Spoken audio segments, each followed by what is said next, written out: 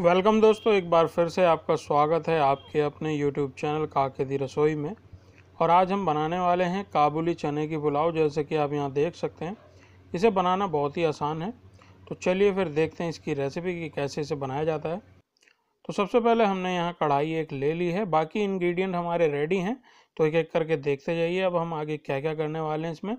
तो कढ़ाई गर्म होने के बाद हम इसमें डालेंगे ऑयल आप चाहें तो यहाँ पे देसी घी का इस्तेमाल भी कर सकते हैं। अक्सर पुलाव में देसी घी डाला जाता है, जिससे कि एक अच्छी सी खुशबू और इसके अंदर अच्छा सा एक टेस्ट आ जाता है। उसके बाद हम डालेंगे एक मीडियम साइज़ की प्याज, जिसे कि हमने स्लाइस कर लिया है। यानी कि हमने इसे कत्तल के तरह काट लिया है। यानी कि स्लाइसेस जिसे हम कहते हैं। इस तरीके से आप यहाँ पे देख सकते हैं। और इसको हल्का सा भूनना हमें ज़्यादा पकाना नहीं है। बस इतना ध्यान रखें कि ये अलग अलग हो जाए। बस इतना ही। उसके बाद इसे हम बाकी चीज़ें डालेंगे। जैसे कि हम मसाला डालेंगे इसके अंदर खड़े मसाले तो खड़े मसाले में हम क्या क्या ले रहे हैं? इसमें लिया है लौंग, काली मिर्च, दालचीनी, तेज पत्ता, ज़ीरा और हरी इलायची। इसे भी ज़्यादा नहीं करना है, बस इतना कि इसके अंदर खुशबू आने लगे। जैसे ही खुशबू आएगी, फिर इसके अंदर हम टमाटर ऐड करेंगे। तो इसके अंदर जो प्याज है, उसे भी हमने ज़्यादा नहीं पकाना है, क्योंकि वो जब पुलाव के साथ पकेगी तो वो अच्छे से गल जाएगी। अगर इसे अभी गला देंगे तो फिर ये चावलों के साथ नज़र नहीं आएगी। तो अब हमने इसके अंदर डालने हैं टमाटर। तो एक मीडियम साइज़ का टमाटर लिया है और जैसे ही प्याज काटी थी, उसी प्रकार से टमाटर को भी काट लेना है और टमाटर को भी हल्का सा रोस्ट करना है। बिल्कुल नहीं पकाना है इसे। तो काबुली चना जो मेनली है, ये मोटे वाला चना जो होता है, उसे काबुली चना बोला जाता है वाइट वाला। इसकी ये पुलाव बनाई जाती है। बहुत ही अच्छा टेस्ट आता है इसका। और ये जो मेनली डिश है, ये अफ़गान में ज़्यादा बनाई जाती है, अफ़गानिस्तान में। ये देखिए इस तरीके से। ये हमने छोले लिए हैं, सौ ग्राम। और इनको रात भर भिगोने के बाद दो सीटी लगाई है कुकर में। और अभी आप देख सकते हैं, पूरी तरीके से ये पके नहीं हैं, क्योंकि इन्हें चावल के साथ भी पकना है। तो यहाँ पे हमने इन्हें डाल दिया है, रात भर भिगोने के बाद दो सीटी लगाई है। और यहाँ पे थोड़ा सा इसको तेल में हम पकाने वाले हैं।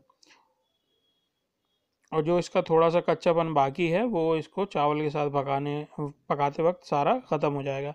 तो यहाँ पे आप इसके अंदर अदरक लहसुन का पेस्ट भी डाल सकते हैं, लेकिन हमने यहाँ पे उसका इस्तेमाल नहीं किया है, क्योंकि हम जो पुलाव बना रहे हैं, बिल्कुल लाइट बना रहे हैं, जो अदरक लहसुन होता है, उसका जो टेस्ट होता है, वो थोड़ा सा तेज़ होता है। यहाँ पे हमने लिए हैं दो हरी मिर्च, जिन्हें कि हमने स्लिट कर लिया है, यानी कि उनको बीच में से चीर लिया है। जो हरी मिर्च का स्वाद आता है, इसको पकने के बाद जब ये पानी में पकती है तो एक अच्छी सी खुशबू भी देती है और इससे हमारे जो चावलों के अंदर फ्लेवर भी बहुत अच्छा आ जाता है। इससे आपकी ज़्यादा डिश जो है वो स्पाइसी नहीं होगी। इसमें सिर्फ़ थोड़ा सा फ्लेवर आ जाता है, थोड़ी सी इसकी सुगंध आ जाती है, जो हमारी मिर्चियाँ हैं, जब वो पकती हैं तो। तो ये हमारा मसाला लगभग रेडी हो गया है। अब इसके अंदर हम चावल ऐड करेंगे। तो ये डेढ़ सौ ग्राम बासमती चावल लिए हैं, जिन्हें हमने आधे घंटा धोने के बाद भिगो लिया था। आधा घंटा धोने के बाद नहीं, दो पानी से धोने के बाद आधा घंटा भिगोया है और उसको डाल दिया है। और ये देखिए, ये जो है पानी, ये जो हमने छोले उबाले थे, उसी का स्टॉक है। ये तकरीबन सौ ग्राम है तो मतलब सौ एम पानी है।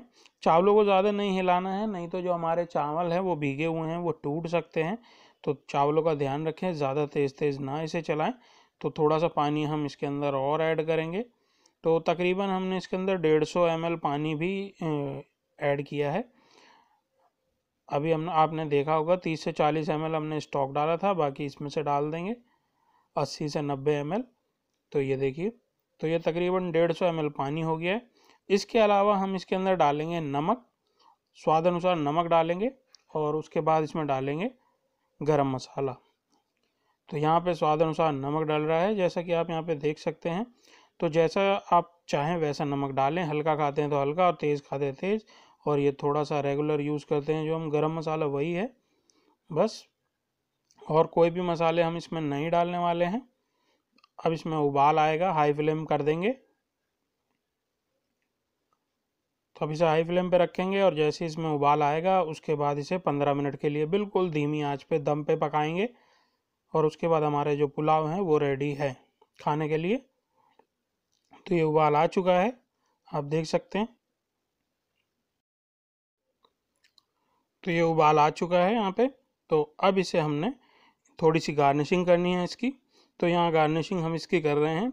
ये हमने गाजर लिए हैं और इनको लंबा लंबा काट लिया है जूलियन टाइप और उसके बाद हम इसके अंदर डालेंगे थोड़ी से ड्राई फ्रूट्स तो ड्राई फ्रूट्स में मेरे पास अभी यहाँ पे किशमिश है तो मैं सिर्फ़ किशमिश ही डाल रहा हूँ इसके अंदर।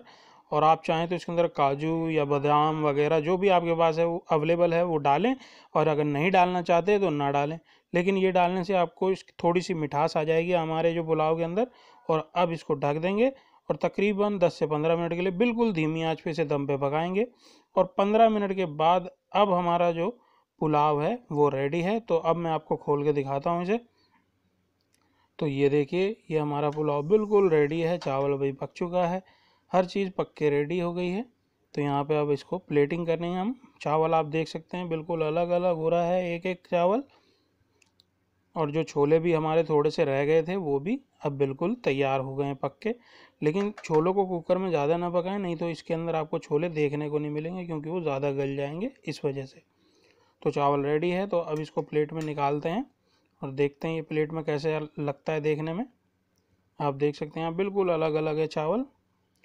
तो दोस्तों, ये रेसिपी थी काबुली चने के पुलाव की। उम्मीद करता हूँ आपको ये रेसिपी पसंद आएगी और आप इसे बना के देखिएगा ज़रूर, क्योंकि चावल आप अनेक अनेक तरीके से बना सकते हैं। आप इसे भी ट्राई करें और खाएँ, बहुत ही बढ़िया लगता है।